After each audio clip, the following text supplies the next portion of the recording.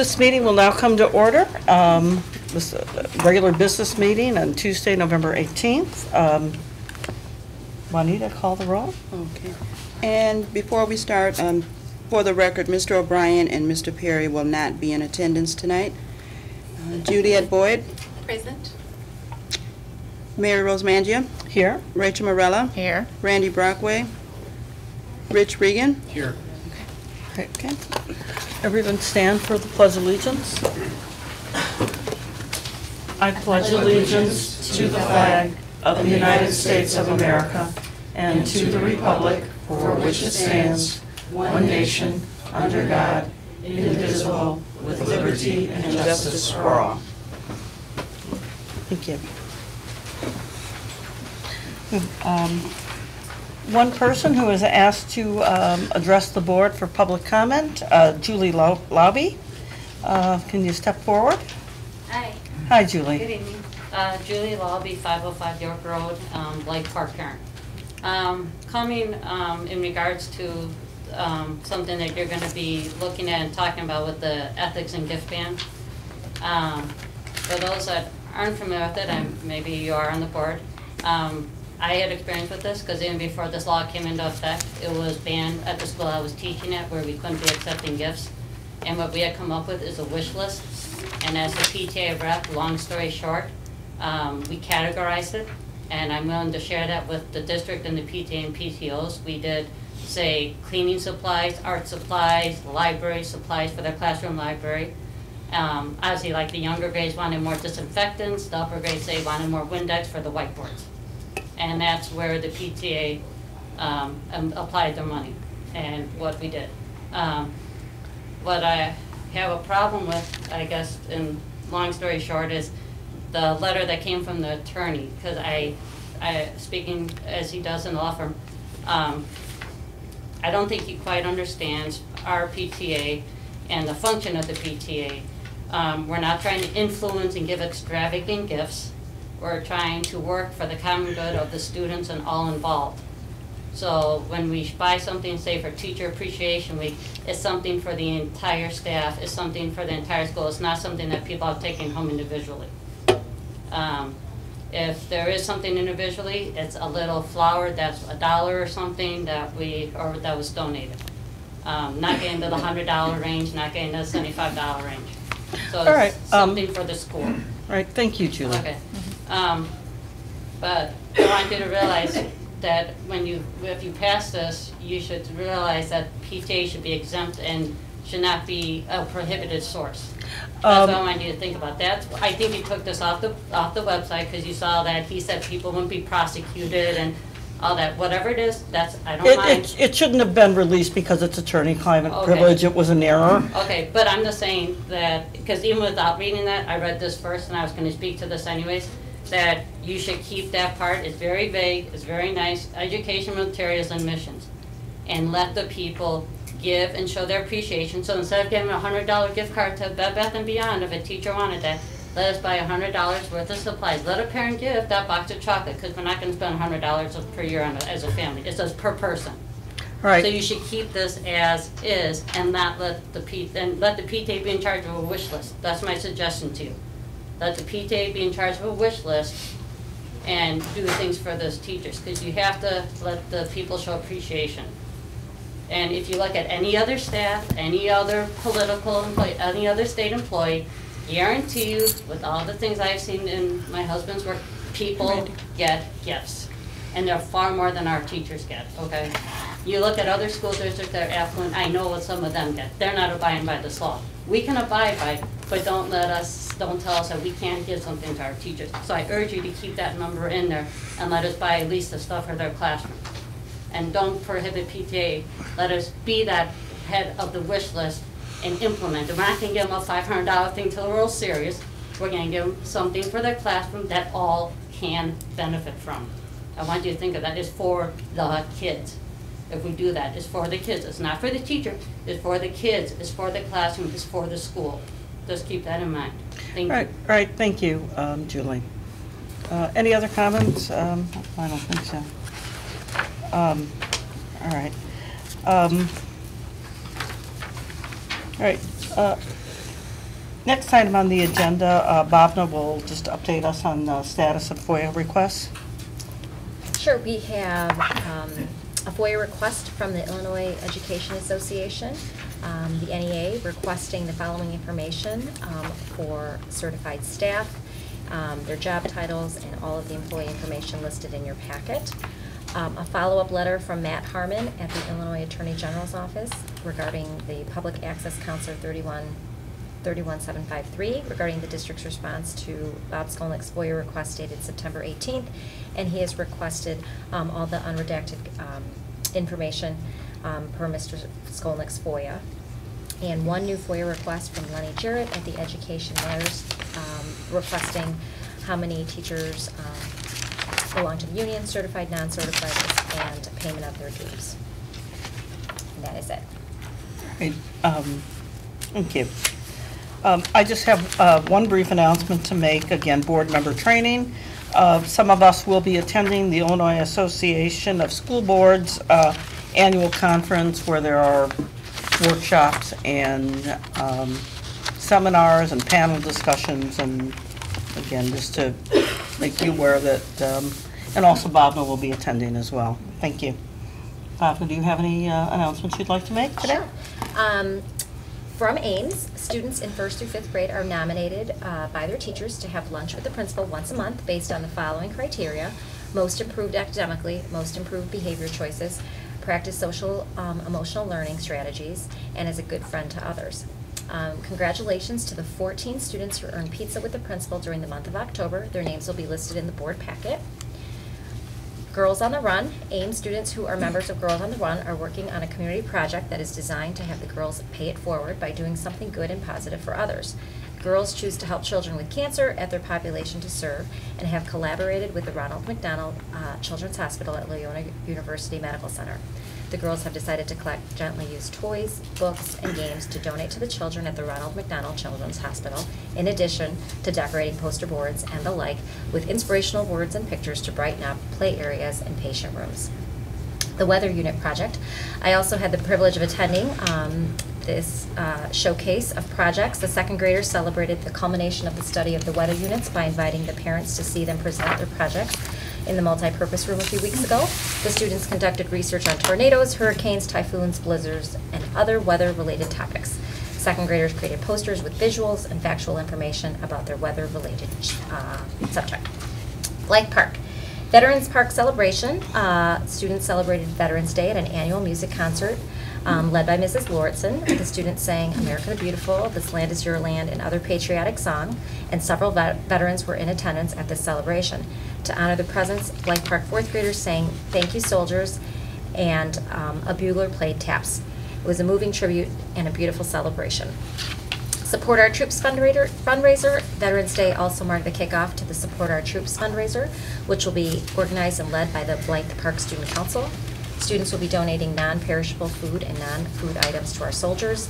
Letters to the troops are encouraged and welcome, and the Support Our Troops fundraiser will run through November 25th. At Central, Central students took part in the Halloween costumes and candy collections after the recent Halloween holiday. Costumes were donated to Hephzibah Children's Association in Oak Park. The candy that was collected went to Operation Gratitude.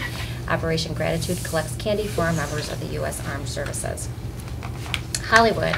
Read to Succeed um, has really taken flight. For every minute that a Hollywood student reads, it is translated into two inches of altitude. As of Friday, November 17th, excuse me, November 7th, Hollywood School is flying at an altitude of 23,008 feet. And our goal is to reach the, or- the orbit. Candy for Troops and UNICEF. The members of Hollywood Student Council set two goals for their first two projects, Candy for the Troops and UNICEF. Students of Hollywood School surpassed both goals. The goal for collecting candy for the troops was to gather 50 pounds of candy. The total sent to the troops weighed at 50, weighed in at 55 pounds and .25, .25. The goal for collecting money for UNICEF was $200, and Hollywood students collected $226.25. The money will enable UNICEF to purchase a bicycle that will help deliver medicine as well as enough um, measles vac- vaccinations for 450 children. And lastly, at Hauser, Spirit Week took place at Hauser the week of October 27th through 31st. Students were able to have special dress-up days, and it culminated with the first trimester sock hop. Smart Club sponsored Red Ribbon Week, promoting a drug and alcohol-free lifestyle. Advisory classes completed a door decorating contest, and the Smart Club is undergoing a candy donation fundraiser for our troops. They will send 12 boxes of candy to our U.S. troops. French Week took place the week of November 3rd. Students wore French outfits and competed in a mime contest. The class with the most mimes won a French breakfast. Little Symphony had both American Boy Choir and Chicago Chamber Orchestra perform at Hauser in October and November. And the Hauser Chamber Orchestra performed the Star Spangled Banner at the Riverside Village Board meeting last month eighth grade Spanish trip um, to Pilsen students. Um, They were visited the Day of the Dead exhibit at the National Mexican Museum of Art, decorating sugar skulls, walked around Pilsen to see murals and mosaics, and ate lunch at Los Comales.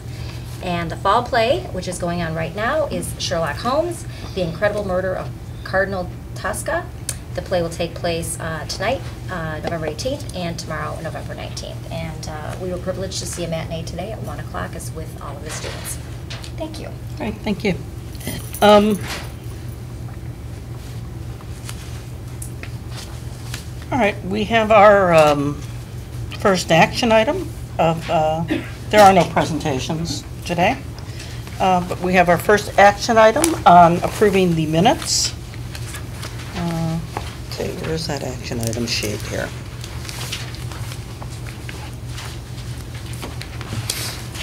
There we go. Um, I request a motion that the Board of Education accept the minutes of the regular business meeting of October 21st, the closed session meeting of October 21st, the Finance Committee meeting of October, of uh, November 4th, uh, the minutes of the special meeting of November 4th, and the minutes of the closed session November 4th. Um, Have a motion? So moved? Second. It's been moved and seconded uh, to approve the minutes as presented. Juanita? Rich Regan, Aye. Randy Brockway, Aye. Juliette Boyd, Aye. Rachel Morella, Aye. Mary Rose Mangia. Aye. Motion passed. All right. Next, we will hear from Bhavna on district um, priorities and goals. Thank you. Um, As we did last month, we are presenting them um, for our audience at home as well as um, in the room tonight. Um, Our first area of academic and professional excellence, Objective One, um, the technology team conducted a needs assessment to identify what technology-related professional development um, areas there are for staff. We also, um, we're going to develop, based on those needs assessment, a technology plan, excuse me, professional development plan for staff. The special education staff um, participated in professional development of how to navigate the PARCC assessment in order to de- determine any accommodations for students with special needs, um, as they are going to differ from the paper pencil module. And we also analyzed the 13-14 district data to assess benchmark and student growth achievement levels. Um, For our objective two, um, the district cabinet members um, and social workers met with um, the Riverside Area Inclusion Network to plan activities um, in the School for Inclusion Awareness Week, which will be the first two weeks in December, uh, the first week for elementary and the second week for Hauser, and the focus will be on an inclusive community.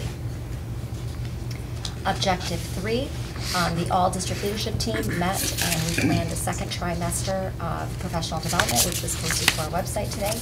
Uh, The PERA, the Performance uh, Review, excuse me, the Performance Evaluation uh, Reform Act alignment team met to begin finalizing forms and procedures for our new teacher evaluation and performance growth models. Uh, We also provided some professional development regarding student publis- publishing and Common Core state standards. Professional development will also be provided next week to psychologists, social workers, paraprofessionals, and administrators in crisis prevention intervention to support students with social emotional needs, and this will be the phase one of training. Um, And I apologize, this is a duplicate from the first um, two that wasn't related, but this is where the uh, needs assessment for technology and professional development um, are better aligned to objective three than they are to objective one. Uh, Number two, uh, goal area two for financial and operational excellence, develop a district facilities plan that considers enrollment projections, space concerns, safety, technology, and curriculum needs. Um, The technology department uh, is doing the implementation of core network remediations. looking at routing and switching optimization, as well as net- network security and voice WAN optimization. Um, In your packet, uh, you will have the authorization of Comcast Fiber WAN Internet Connectivity Contract. Um, The development of the disaster recovery plan is based upon the new design and expectations of the district leadership team, so we're collaborating on that. Um, We're almost done migrating to our email services as well as our e-discovery services. And the special education department is currently updating um, their current data to look at staffing, curriculum, and space allocations for the next school year. Object, um, objective three, we're also, um, looking at drafting a policy for acceptable use with district technology. We are looking at centralizing our student and staff data via Power School, um, which is our student information system. And we are also looking at, um, implementing our, um, using Power School to implement, um, excuse me, consolidating our student health module um, to establish, establish a more centralized database and recording for student health information.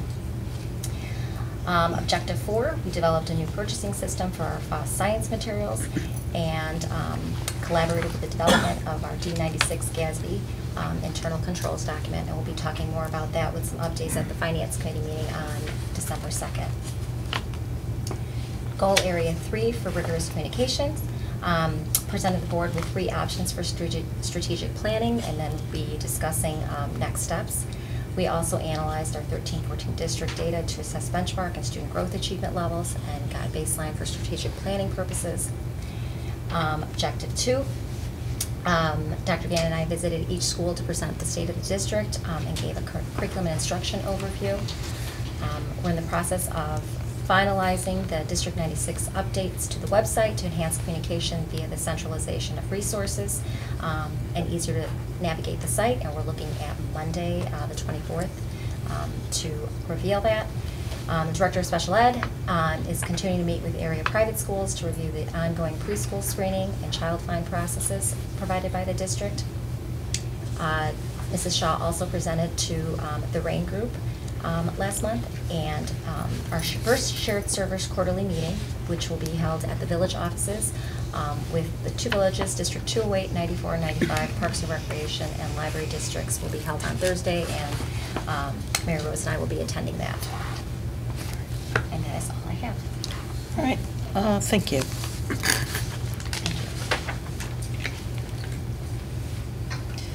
Uh, From the board committees, uh, uh, does anybody have any questions on the enrollment court report or any comments on the substitute report from the board? Okay. All right, um, from our school board committees, um, neither of our chairmen are here today, the finance committee and the education committee. Uh, but we haven't had an education meeting in the, uh, since October, so, um, there's, and, uh, will not again until January. And the finance committee, we will be having, um, finance committee meeting in advance of the tax levy, um, passing the tax levy, uh, on, uh, when is it, December? Second. Second? All right, thank you. And then we have, t- t- we've converted our policy committee to a superintendent's committee. And uh, Bob, do you mind reporting on that? Sure. Uh, Mary Rose, Randy, and I met on November 6th um, to dis- discuss several policies from um, the Illinois Association of School Board Press Update 84. Um, And in your packet, we are recommending all policies um, that are listed, uh, 2 colon 30, 2 colon 110, 5 colon 10, 5 colon 125, 5 colon 180, 5 colon 190, 5 colon 240, 5 colon 35, 7 colon 70, 7 colon 140, 7 colon 190, and 8 colon 95 for a first reading tonight, and they'll be posted to the website uh, once the board approves um, tomorrow for 30 days. And then um, you can take action for a second reading and action at the December 16th meeting. Um, We will be reviewing the recommendations for policy 4 colon 30 and policy 7 colon 180. Um, We had those reviewed by your attorney, um, so we'll be reviewing those at our next policy meeting on the 24th. All right, just so that um, everyone understands our policies, is we, um, the district gets policies from a service, the IASB, and generally, they, they are um, Illinois Association of School Boards, um, and generally, they mirror the state laws. In other words, if there's a change in a state law, um, it will generate a new policy. And even like we were talking about the Gift Ban Act, that, our policy is a mirror of state laws. And our goal is to modify uh, our policy, modify the recommendations from the state, uh, from the Illinois Association of School Boards, uh, uh, t- uh, to make limited modifications, if any. Um, to- That's just to understand how, everybody understands how our policies are generated. Um, Now, I believe there is one policy in the group we had a minor change to that we're asking for tonight. Um, I don't know if you want to mention that. I believe it's the, Sure, it's policy five colon thirty-five, compliance with the Fair Labor Standards Act. Um, our attorney recommended that the work week for district employees will be twelve AM Monday to the work week for non-exempt employees will be twen- twelve AM uh, Monday. So instead of district employees, change it to non-exempt employees. all right. Uh, Again, to be uh, concurrent with the collective bargaining agreement, or consistent. All right. um, So is the attorney reviewing all the ISB proposed changes as well now? No, Okay. How did this come across the legal counsel's desk? we referred it, Okay, so it's just as referred? yeah. Okay. Again, our goal is to pass as many as possible. We can talk about that further um, when we, at uh, at the action item. Um, When we get to the action item part of uh, the policies today. Want to talk, uh, again, report on the Technology Steering Committee? Sure, uh, Mr. Tufano sent out a notification that our next technology steering committee will be on December fourth, and so we'll provide a more uh, detailed overview at the December sixteenth board meeting.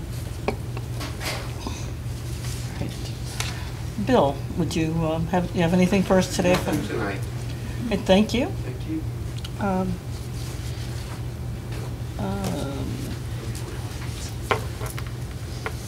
Are there any questions on any of the financial information items, the financial statements, the credit card statements, or the budget progress statement?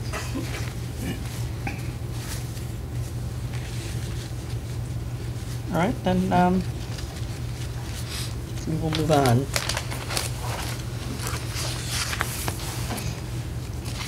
to um, the approval of the general invoices, Schedules A751.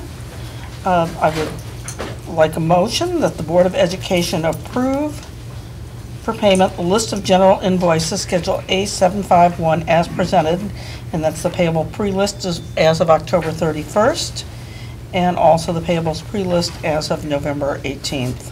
Um, A motion, please? So moved? Second. Um, Monita? Rachel Morella, Aye. Randy Brockway, Aye. Juliet Boyd. Rich Regan, Aye. Mary Rose Mangia. Aye. Motion passed. Next, this, um, next item up uh, is the resolution to transfer funds from the Education Fund to the Debt Service Fund. Um, Again, this is um, just so that we're um, a- able to actually pay the next installment of our uh, debt. Um, And so the money must be transferred from the Education Fund into the Debt Service Fund to do that, uh, because we do not levy in the debt service, as um, we all learned last, last uh, Finance Committee meeting. Um, Anyway, um, I move that the Board of Education approve the resolution transferring funds from the Education Fund to the Debt Service Fund of Riverside Public School District Number 96 in Cook County, Illinois. Um, And that, with that transfer is in the amount of $1,048,862.50. Um, And it would be for the debt service fund for the fiscal year 2014, 2015, for the principal and interest payments due for the uh, 20 200, well, 20111 series debt certificates uh, from the education fund. Do I have a motion? So moved. Second. Okay. Alita? Randy Brockway, Aye. Rachel Morella, Aye. Rich Regan, Aye. Juliette Boyd, Aye. Mary Rose Mangia. Aye. Motion passed. Thank you.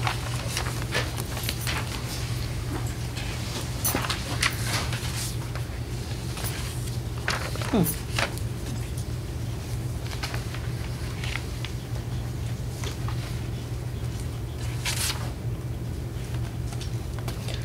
All right, next um, would be approval of the um, intergovernmental agreement for the crossing guards um, for- between District 96 and the Village of Riverside, um, which we have talked many times um, in this board before Rich and uh, Juliet were members, but now we're just approving the um, agreement, uh, the intergovernmental agreement uh, um, that we, we ag- agreed to, I guess, for, for the um, crossing guards that we negotiated. Any questions? Is it, uh, is it correct to assume that our, our ultimate exposure on this is about twelve thousand dollars? Is what I think I calculated it when I read through this. I know there's a cap of twenty-five-five, but when I went through the last year's expenses, we're, we only have exposure for, for fifty percent of five of those guards, right? Fifty percent of five, correct. Right, Thirty-three percent of the sixth. Right. Right, but are the numbers in there, I assume, are our 50% share? Yes, that's our fifty percent Oh, share. that's the 25, yes. 55%. Twenty-five, That's the- two eighty-three. Because we, Okay. in the past, Rich, we were not paying 50%, and that Right. was, and that was basically, Okay. um, yeah. As I said, I don't, Okay, so the numbers represented here are Our share. our fifty percent share. Okay. And I believe they do true, true up, reconcile the estimates that are in the agreement with the actual. There's a provision in the agreement for that. Okay. We will get a bill for the actual. Okay. Um, Any other questions? All right. um, May I have a motion to approve the intergovernmental agreement um, for the crossing guards? So moved. Second. Randy Brockway, Aye. Juliette Boyd, Aye. Rich Regan, Aye. Rachel Morella, Aye. Mary Rose Mangia. I- Motion passed. Yes. All right, next would be um, approval for first reading of the IASB um, um, Press Issue 84 policies that we recommended, that, um, that we, that the working committee has recommended be advanced to first read. And just for clarification, um, we have two readings of our policy before they actually become law, or be- before they become official part of our policy manual. Uh, The reading, uh, after, uh, if we approve them all today, they will be posted for 30 days. If anybody has any questions on them or suggestions for changes, um, they need to get back to us in the 30 days um, before we, you know, before we pass, you know, before we pass them. And that would go for the board as well. If there's any reason you have any in- questions or modifications to suggest, please get back to the working committee as as soon as you can. Are we up to date now on the press releases? Nope, this is just 84. Where are we Um, at? uh, We have 87 that just came out a couple days ago, and we will be meeting next week on Press 85. Right. And our goal is to, you know, just move them on. All right, um, I'd like a motion that the Board of Education approve the, uh, the, the policies, Policy 230, School District Elections, Policy uh, 2 colon 110, Qualifications, Terms, and Duties of Board Members, um, Policy 5:10, Equal Employment Opportunity and Min- Minority Retirement, Recruitment, rather. Policy 5:125, Personal Technology and Social Media Usage uh, and Conduct. Policy 5:180, Temporary Illness or Temporary Incapacity. Policy 5:190, Teacher Qualifications. Policy 5:240, Suspension. Policy 5 colon 35, Compliance with the Fair Labor Standards Act. Policy 7:70, Attendancy, Attendance and Truancy. Policy 7 colon 140, Search and Seizure. Policy 7 colon 190, Student Discipline. And Policy 8:95, Parental inv- um, Involvement. Uh, And we are approving that these policies that I've just read will be posted on the district website for 30 days and moved, uh, and moved to December 16th, 2014, regular business meeting for a second reading and final adoption. Um, A motion, please. So moved. Second. Rich Regan. Aye. Rachel Morella. Aye. Randy Brockway. Aye. Juliet Boyd. Aye. Mary Rose Mangia. Aye. Motion passed. Right, um, next on the agenda is, um, is the Comcast Cast Service Agreement and First Amendment. Um, but I am going to, um, not call this for a vote today. Uh, we'll append it, uh, for a future meeting, because we're still looking for some, uh, additional documentation. And uh, apparently Don also mentions that one of the provisions can't be changed until such time as we actually approve this agreement. So, um, so anyway, we will, we will, uh, address it again in- at a future meeting. Um, I'm sorry, just for clarification, we have to revise the E-rate agreement before we revise, approve the Comcast agreement, is that correct? No, it's just, just that, um, pro- provision for, uh, the, the discounted rate versus reimbursement. Ah, There's a, okay. a- an odd provision in there. Okay. So, anyway, next is.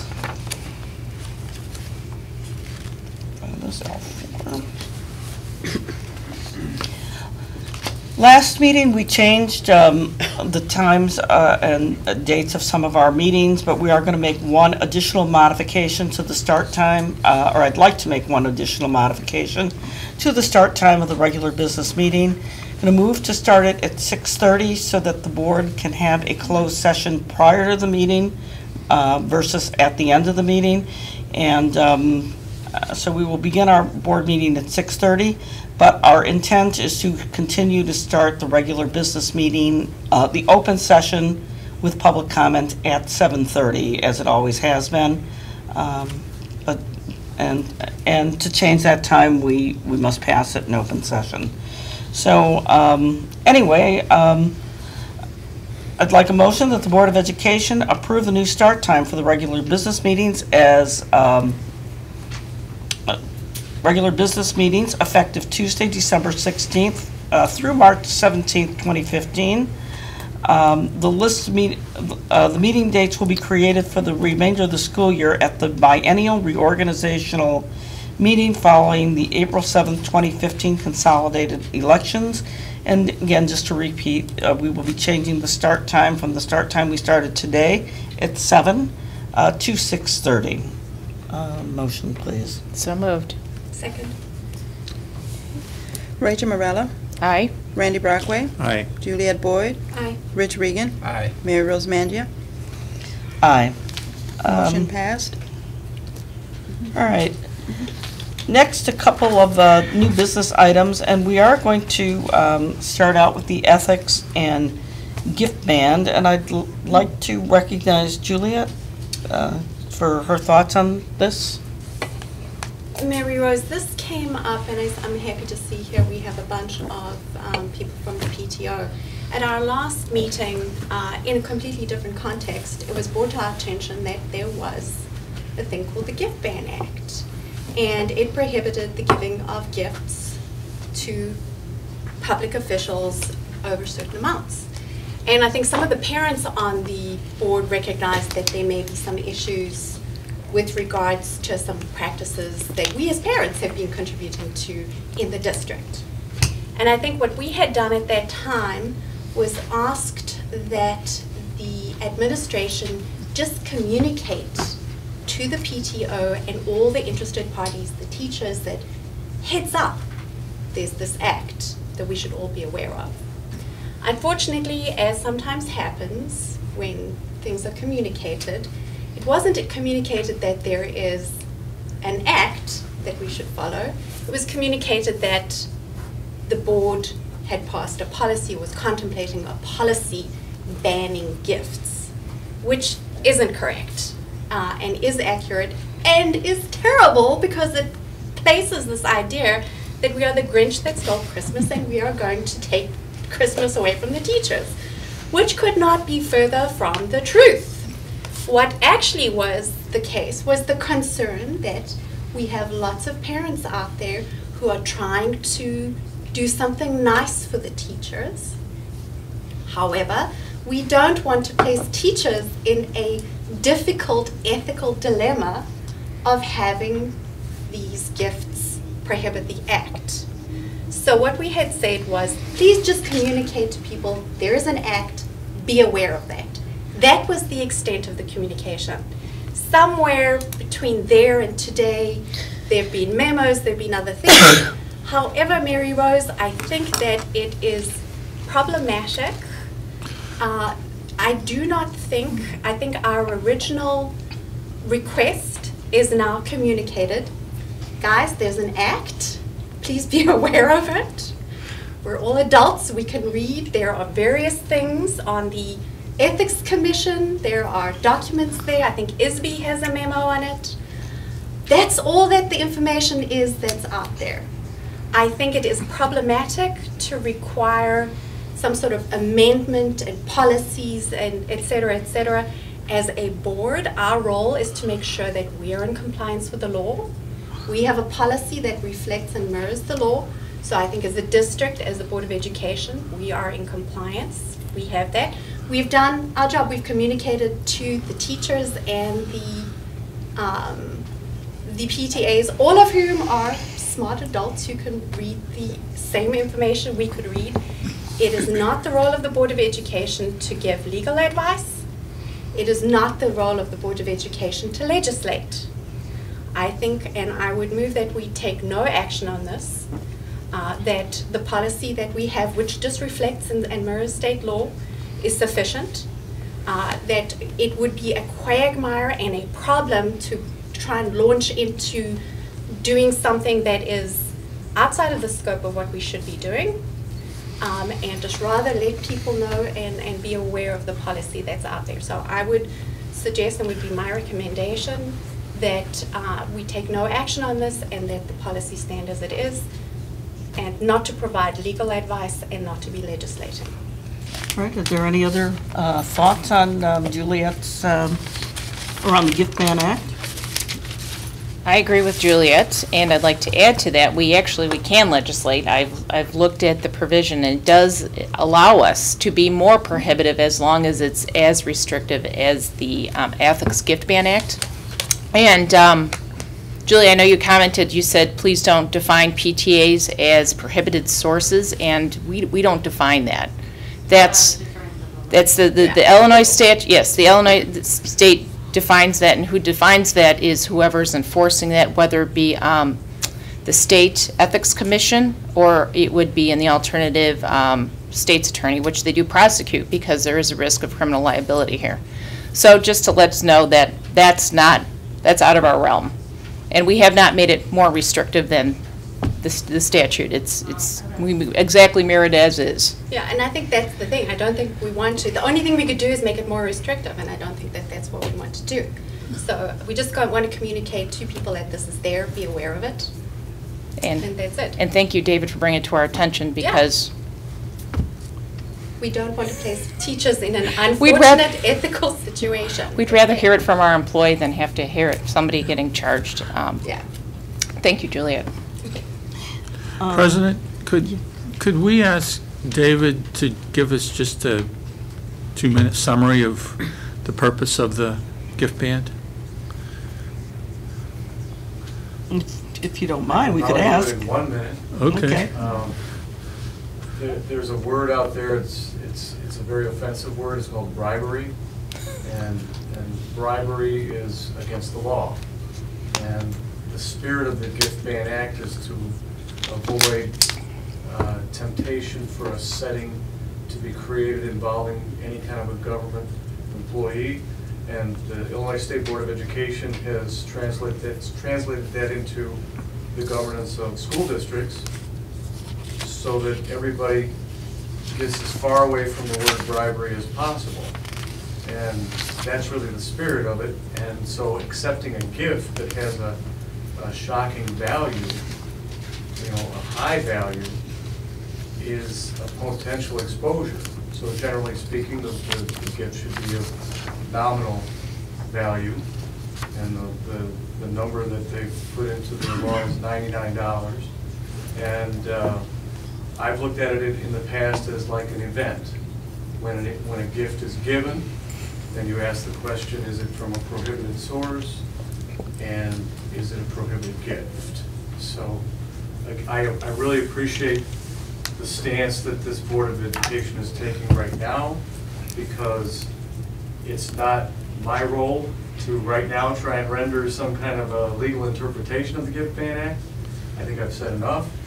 Um, And, and that's just it. But for me, my own personal view is that it's a, it's an anti-bribery uh, act, and we all know that that's a, a- bad thing to have happen in any kind of governmental context. Yeah, and again, I don't see this act as, or at least the spirit of this act being particularly unusual. I've worked in many corporations where every year I have to sign an ethics statement, and our limit was twenty-five dollars, and, um, and people didn't, didn't cross it. Um, You know, so for me, it's not all that unusual. And I do suggest if you're giving school supplies and such, donate them to the school. Um, I mean, you know, isn't that allowed? Well, and again, let's not get into saying what's allowed Uh, or not what allowed, isn't. giving legal advice. Like I said, the, the, the statutes out there, um, there are, there are dollar amounts in the statute, you know? So it's just, you know, it's, it's one of those common sense things. It's the appearance of impropriety, you know? If you're giving a teacher large amounts of money and all of a sudden the kid gets a good grade, I mean, that's what they're trying to avoid. That's the spirit of the act, is that there's a quid pro quo that happens. And it's, it's not limited to teachers, it's all public officials. So, um, and like I said, because it is all public officials, there's lots of stuff out there that talks about the Gift Ban Act. I don't think, and I don't want to beat a dead horse, but we don't want to get more restrictive than that, so let's just, I think we've got the, we've, we're complying with state law. We'd like that everybody else does, and no one is placed in any difficult situations, and I think we, that's enough said. All righty, um, I'd like to move on then, um, and, uh, to the next item on our agenda, uh, which is, um, school and student safety. Um, we had a request from a board member to discuss this topic in light of the recent, um, incident that happened over at St. Mary's, and thought it might be worth, worthwhile to review our safety procedures. Do you want me to just give an update, or was there a, a question? Um, Well, I guess let me ask a specific question. Did we do anything different um, as a response to that particular incident? We are required to do um, uh, an intruder drill, and we do that in cooperation with the police departments. So we had that scheduled um, last Thursday. And just so everyone knows, we have a district um, liaison for safety and crisis, and that's uh, Stacy Weston. So she represents the district leadership team and works with uh, the police departments um, as far as communicating information back and forth. So last Thursday was a planned um, intruder drill where we worked like uh, in cooperation, as I said, with the Riverside and Brookfield uh, police departments. They were in our buildings. They worked with the principals. They went on lockdown. Um, all parents were communicated um, after, um, and I spoke to Chief Weitzel uh, after, and he said everything went well. There was a few minor issues in buildings that can be addressed with individual staff members, um, but nothing that was putting any child or staff member in danger. Um, in fact, he, uh, Lieutenant Coder uh, complimented our staff, our administrators, and Mrs. Weston um, for the partnership and the cooperation and the leadership that we've shown um, in being proactive. Was this a regularly scheduled drill? Yes, we had to do it, uh, we do it annually, and it was scheduled, I believe, prior to, maybe, uh, Stacy, wasn't it, before the incident that happened at St. Mary's? Okay. It was scheduled in October. Okay. And how many drills are there per year? There's one intruder drill. Any other questions or Bob, now, were the, the specifics of the St. Mary's incident addressed during your drill? You mean from our staff? Right. No. Okay. When we got that press release, um, that came to myself and Dr. Skinkis, Mhm. and I forwarded that on to you, and I forwarded it on to our principals, and I know it came out uh, a couple hours later in the paper, um, but we just shared it, and then each principal personally shared it with their staff. Okay. Very good. I know when these incidents happen, it's always a good occasion to review policy and how would we react under similar circumstances, so. And we do, um, you know, we meet weekly as a district leadership team, and we bring up these situations all the time of specific things that happened at a building, how about we just review things? Like we said, that's uh, St. Mary's incident actually happened that morning, it was a Wednesday, and we meet on Wednesday afternoon, so we discuss that as well. Very good.